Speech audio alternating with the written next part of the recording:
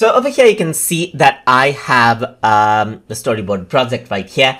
And let's say what I want to do is apply out directional blur instead of a regular blur. So in that case, what you have to make sure is, first of all, you need to have a bitmap layer. And then if you um, have a vector layer instead, you can go around and convert this into a bitmap layer by right clicking on a layer right here and by going around over here and by clicking on convert to bitmap layer.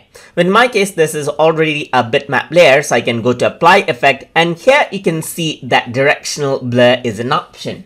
So if I were to click on this, you can go around and then um, apply out the effect that you want. Let's say, for example, for length, I'm going to add in 10 right here, just like this, and press preview, and you will be able to see the directional blur preview right here. I'm going to go around and change around the width over here as well. So you can see that you can go for length and width blur right here. So let me just go around and let's say for width, I'm going to keep it zero itself. So the length itself um, is 10 right here. You can go around, change around the angle of the blur over here as well.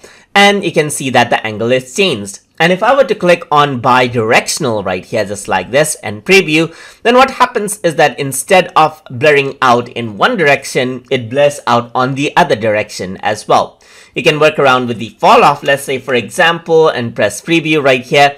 And then the fall off uh, rate changes out as well. So I'm just going to go around and let's say I'm going to do something like uh, 5 right here, press preview right here and you can see that the fall off is a bit less right here. Let me just go around keep zero uh, so that I can have mm, a lot of blurs right here.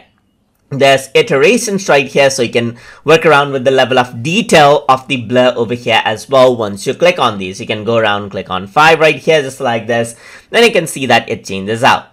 So here you can see that after everything is done, if you want to apply out the directional blur, you can go around and then press OK. And then it says the artwork may be cropped while converting into a new bitmap layer right here because this is uh, uh, currently not in the bitmap format. Uh, so once I do that, you can see that it has been converted into a bitmap layer and then you got the directional blur over here as well. So that is how you can work around and apply directional blur inside of Toon Boom Storyboard Pro. So if you guys learned something as always, and as always, please like, comment, share, and subscribe.